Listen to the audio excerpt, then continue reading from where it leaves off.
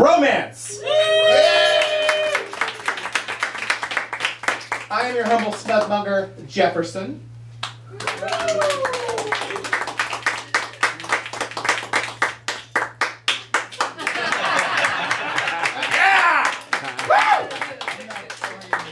How did we get that guy? Well, it's my show. Um, for those of you who don't know what you've gotten yourself into, let me do some explaining. Uh, this show, Bare, True Stories of Sex, Desire, and Romance, is a little thing we've been doing for three years now. Um, it kind of grew out of things like The Moth and other storytelling shows. This show is focused on those three things sex, desire, romance, which is about the subject of every pop song ever written, right? Everything's in there. And so what I do is I go to all the storytelling shows in town, and I find the best storytellers I can find. And I ask them, do you have stories about sex, desire, and romance? And they say, yeah. And I book them for this show. It's a lot of fun for me. But I do a lot of work. You don't have to. You just come to one show, you get all the sex, desire, and romance you need. Um, this show took off here three years ago. I took off and I started doing the show in Boston, DC, and Philadelphia. And so these days, my life is largely about going up and down the East Coast, listening to people tell dirty stories. Nice. Nice work if you can get it. You can't, I already have it.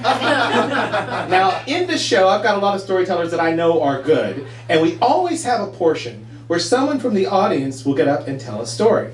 That person could be good. I don't know what that story is going to be, and that's why it's like my favorite part of the whole show because it's it's a treat for me to hear a new story. That person could be you. Or it could be someone there, but it's like you. I told you I'm going to pick on you tonight. Um, anybody from the audience can, can tell a story. Here's what I'd like to know about your story. It should have something to do with sex, desire, and romance, right? That's what the show is about. Um, I would like for your story to have a beginning, a middle, and an end. All good stories do. Not all stories do, but the good ones do. Start somewhere. Don't tell us your whole life story. Start somewhere, take us on a journey, and conclude your story. So let's say you're into spanking. Don't tell us how you got into spanking for the, the whole thing, every time you ever got spanked. Tell us a spanking story. Clear? I know one thing about your story, never having heard it. It's over in seven minutes. How can I be so sure? At six minutes, I'll do this. In the worlds of storytelling and comedy, this is called lighting. So I'm lighting you. And when you see me do this, and I'm sitting right there, I'm not saying shut the fuck up. I'm saying start shutting the fuck up. Because when I do this, it's seven minutes, and you need to leave the stage. You've gotta go. You've gotta go, because if you don't go, I have to bodily take you from the stage.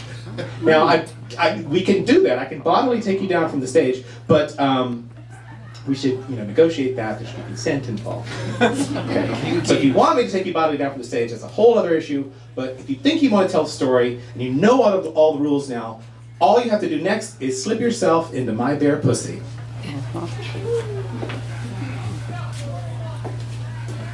This is my bear pussy. Isn't it cute? You get it? Because the show's called Bare and it's a pussy cat. Get it? It's hilarious. Uh, what you're going to do is go back to that table over there. You'll find cocktail napkins and a pen. And you write yourself your name down on a cocktail napkin like it's 1972 and you're trying to pick me up. Thank you, Hefe, for demonstrating what a cocktail napkin is. Um, you write your name on the cocktail napkin uh, like you're trying to pick me up. Uh, you can put your phone number on it if you want to. You don't have to worry, I won't call you. Yeah, I'll, I'll call you. I'm, I'm, I'm incorrigible. I'm the easiest lay in New York City. You don't believe it? Talk to everybody else in the room.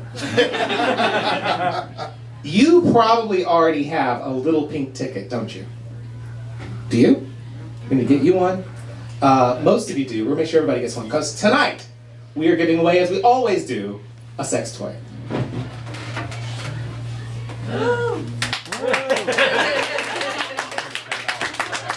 Included? We don't have to give away a sex toy, people. We want to. You gotta want it, though. Uh, hang on to those tickets because that's how I'm going to give it away later on the show. We're going to do a raffle. I would like to show you uh, now what you could be walking away with tonight. Just what I wanted. It's already wrapped, so if you're looking for that special something for mom for the holidays, this could be it. Uh, it is a, let me see if I've got it open here. Oh, wait, wait, yes, thank you.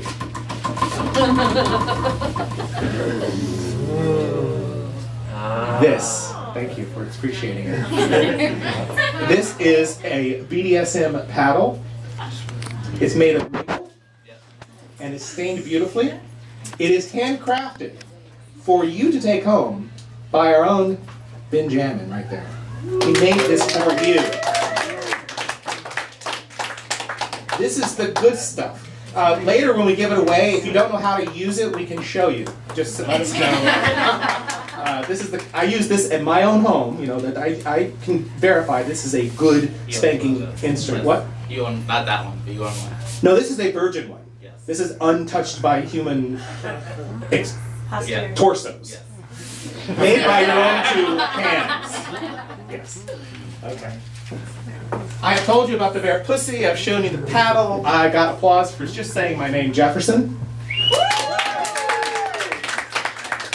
Thank you so much. Thank you so much. I, I'd say I'm humble, but humility is not come easy to me. Um, we have a great show lined up tonight. I've got some great storytellers lined up, as I said. Uh, this is a show of storytelling, and we're really strict about that. It's always storytelling, except that we always start with music. Because why? Because I like music. Don't you love music? I think, I see we have a music fan right back there. I think uh, you're going to like the first musician because we've had her on the show before and you love her. She's back now. It's Jessica Delfino.